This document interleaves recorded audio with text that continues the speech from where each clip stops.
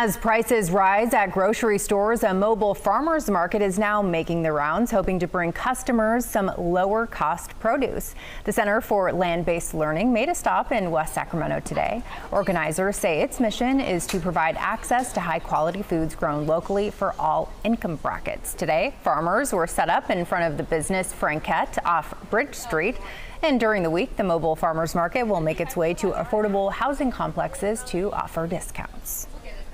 The reason that it's so important is because it's one thing to be able to grow the food, but it's another thing to be able to get the food to the people in the community. And so we really believe wholeheartedly that every single person in a community, regardless of zip code, regardless of income, should have access to locally grown, nutrient dense food. And that's the food system that we're trying to build.